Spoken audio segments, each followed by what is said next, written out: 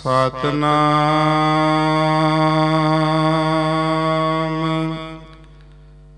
ਸ੍ਰੀ ਵਾਹਿਗੁਰੂ। ਸਾਹਿਬ ਜੀ।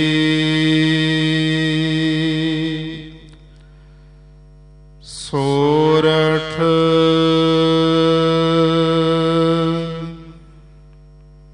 ਮਹੱਲਾ ਪੰਜਵਾ।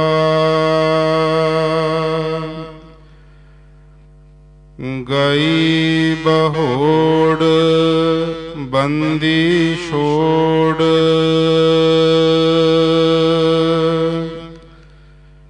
ਨਿਰੰਕਾਰ ਦੁਖਦਾਰੀ।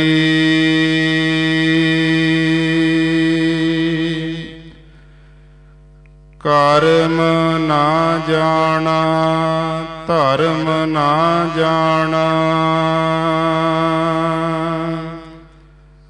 ਲੋਭੀ ਮਾਇਆ ਧਾਰੀ।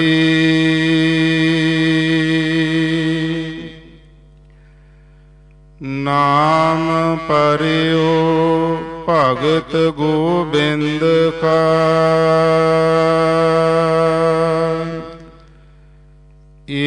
ਰਾਖੋ ਪੈਜ ਤੁਮਾਰੀ।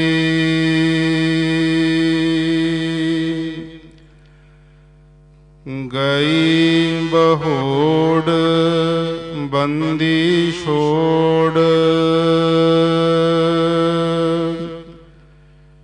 ਨਿਰੰਕਾਰ ਦੁਖਦਾਰੀ।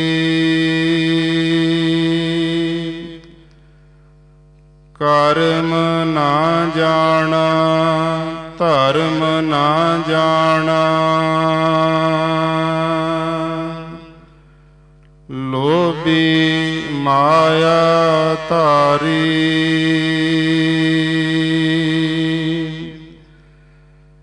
ਨਾਮ ਪਰਿਓ ਭਗਤ ਗੋਬਿੰਦ ਕਾ।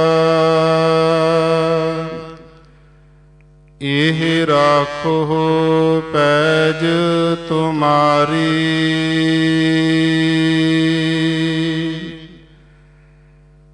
ਹਰ ਜੀਉ ਨਿਮਾਣਿਆ ਤੂੰ ਮਾਣ।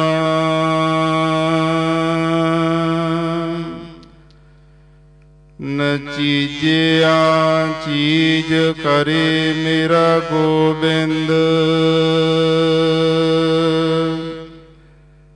ਤੇਰੀ ਕੁਦਰਤ ਕੋ ਕੁਰਬਾਨ। ਰਹਾਉ ਜੈਸਾ ਬਾਲਕ ਭਾਏ ਸੁਭਾਈ। ਲੱਖ ਅਪਰਾਧ ਕਮਾਵੇ।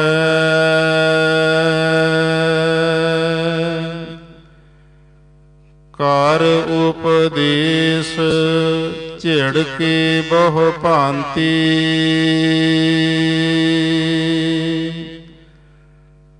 ਬਹੁੜ ਪਿਤਾ ਗਲ ਲਾਵੇ।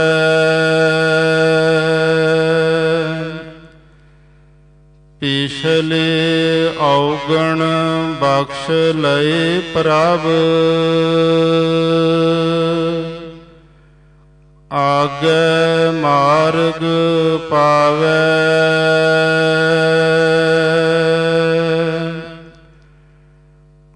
ਹਰ ਅੰਤਰ ਜਾਮੀ, ਸਭ ਵਿਦ ਜਾਣੈ। ਤਾਂ ਕਿਸ ਪਹਿ ਆਖ ਸੁਣਾਈਐ?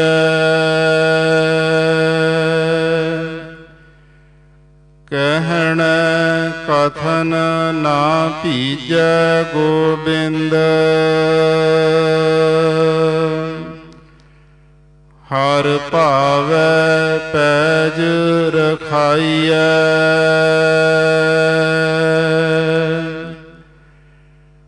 ਅਵਰ ਓਟ ਮੈਂ ਸਗਲੀ ਦੇਖੀ। ਇਕ ਤੇਰੀ ਓਟ ਰਹਾਈਐ।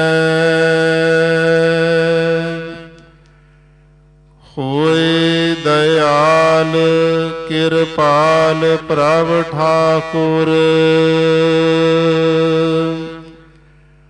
ਆਪੇ ਸੁਣੈ ਬੇਨੰਤੀ।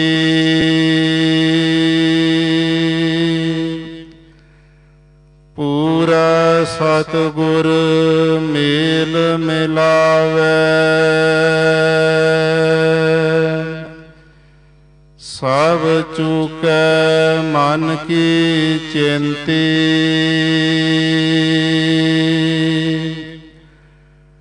ਹਰ ਹਰ ਨਾਮ ਅਵਖਦ ਮੁਖ ਪਾਇਆ। ਜਨ ਨਾਨਕ ਸੁਖ ਬਸੰਤੀ।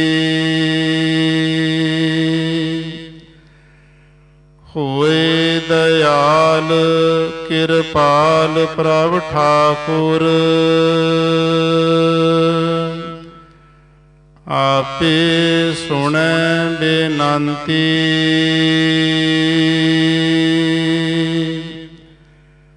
ਪੂਰਾ ਸਤਿਗੁਰ ਮੇਲ ਮਿਲਾਵੇ।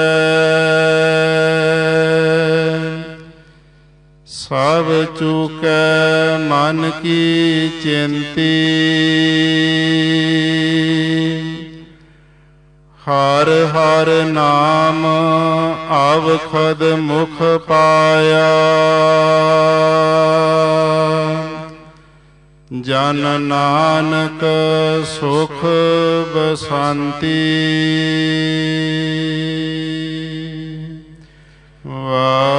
ਵਾਹਿਗੁਰੂ ਜੀ ਕਾ ਖਾਲਸਾ, ਵਾਹਿਗੁਰੂ ਜੀ ਕੀ ਫਤਿਹ। ਸੋਰਠ ਮਹੱਲਾ ਪੰਜਵਾ,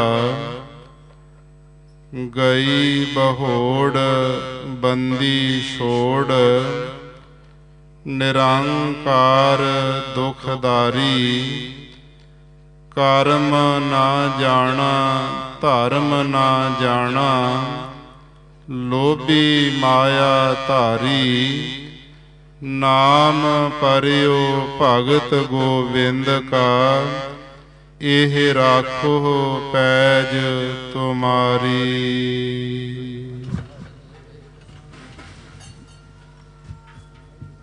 ਵਾਹਿਗੁਰੂ ਜੀ ਕਾ ਖਾਲਸਾ, ਵਾਹਿਗੁਰੂ ਜੀ ਕੀ ਫਤਿਹ। ਅੱਜ ਦਾ ਫਰਮਾਨ ਪੰਜਵੇਂ ਪਾਤਸ਼ਾਹ ਸ੍ਰੀ ਗੁਰੂ ਅਰਜਨ ਦੇਵ ਜੀ ਦਾ ਹੈ। ਸੋਰਠ ਮਹੱਲਾ ਪੰਜਵਾਂ। हे ਪ੍ਰਭੂ, ਤੂੰ ਆਤਮਿਕ ਜੀਵਨ ਦੀ ਗਵਾਚੀ ਹੋਈ ਰਾਸ ਪੂੰਜੀ ਨੂੰ ਵਾਪਸ ਦਿਵਾਉਣ ਵਾਲਾ ਹੈ।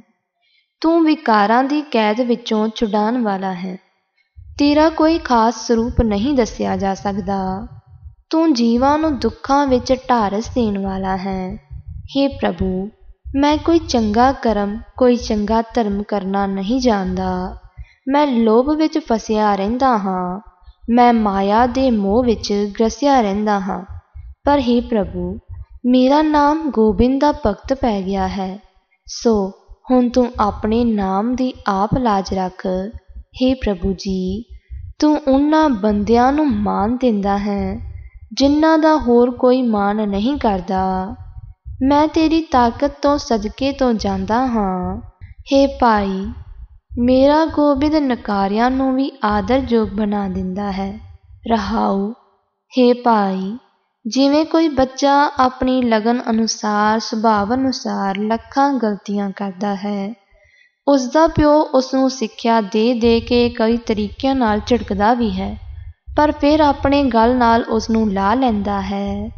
ਇਸੇ ਤਰ੍ਹਾਂ ਪ੍ਰਭੂ ਪਿਤਾ ਵੀ ਜੀਵਾਂ ਦੇ ਪਿਛਲੇ ਗੁਨਾਹ ਬਖਸ਼ ਲੈਂਦਾ ਹੈ ਤੇ ਅਗਾਂਹ ਵਾਸਤੇ ਜੀਵਨ ਦੇ ਠੀਕ ਰਸਤੇ ਉੱਤੇ ਪਾ ਦਿੰਦਾ ਹੈ। हे ਭਾਈ, ਪਰਮਾਤਮਾ ਹਰੇਕ ਦੇ ਦਿਲ ਦੀ ਜਾਣਨ ਵਾਲਾ ਹੈ। ਜੀਵਾਂ ਦੀ ਹਰੇਕ ਆਤਮਕ ਹਾਲਤ ਨੂੰ ਜਾਣਦਾ ਹੈ। ਉਸ ਨੂੰ ਛੱਡ ਕੇ ਹੋਰ ਕਿਸ ਪਾਸ ਆਪਣੀ ਬਿਰਥਾ ਆ ਕੇ ਸੁਣਾਈ ਜਾ ਸਕਦੀ ਹੈ। हे ਭਾਈ, ਪਰਮਾਤਮਾ ਨਿਰੀਆਂ ਜ਼ਬਾਨੀ ਗੱਲਾਂ ਨਾਲ ਖੁਸ਼ ਨਹੀਂ ਹੁੰਦਾ। ਕਰਨੀ ਕਰਕੇ ਜਿਹੜਾ ਮਨੁੱਖ ਪਰਮਾਤਮਾ ਨੂੰ ਚੰਗਾ ਲੱਗ ਪੈਂਦਾ ਹੈ ਉਸ ਦੀ ਉਹ ਇੱਜ਼ਤ ਰੱਖ ਲੈਂਦਾ ਹੈ। हे ਪ੍ਰਭੂ, ਮੈਂ ਹੋਰ ਸਾਰੇ ਆਸਰੇ ਵੇਖ ਲਏ ਹਨ। ਮੈਂ ਇੱਕ ਤੇਰਾ ਹੀ ਆਸਰਾ ਰੱਖਿਆ ਹੋਇਆ ਹੈ। हे ਭਾਈ, ਮਾਲਕ ਪ੍ਰਭੂ ਦਇਆਵਾਨ ਹੋ ਕੇ, ਕਿਰਪਾਲ ਹੋ ਕੇ ਆਪ ਹੀ ਜਿਸ ਮਨੁੱਖ ਦੀ ਬੇਨਤੀ ਸੁਣ ਲੈਂਦਾ ਹੈ ਉਸ ਨੂੰ ਪੂਰਾ ਗੁਰੂ ਮੇਲ ਦਿੰਦਾ ਹੈ, ਮਿਲਾ ਦਿੰਦਾ ਹੈ। ਇਸ ਤਰ੍ਹਾਂ ਉਸ ਮਨੁੱਖ ਦੇ ਮਨ ਦੀ ਹਰੇਕ ਚਿੰਤਾ ਮੁੱਕ ਜਾਂਦੀ ਹੈ। हे ਦਾਸ ਨਾਨਕ, ਆਖ, ਗੁਰੂ ਜਿਸ ਮਨੁੱਖ ਦੇ ਮੂੰਹ ਵਿੱਚ ਪਰਮਾਤਮਾ ਦਾ ਨਾਮ ਦਵਾਈ ਪਾ ਦਿੰਦਾ ਹੈ, ਉਹ ਮਨੁੱਖ ਆਤਮਿਕ ਆਨੰਦ ਵਿੱਚ ਜੀਵਨ ਬਤੀਤ ਕਰਦਾ ਹੈ। ਵਾਹਿਗੁਰੂ ਜੀ ਕਾ ਖਾਲਸਾ, ਵਾਹਿਗੁਰੂ ਜੀ ਕੀ ਫਤਿਹ।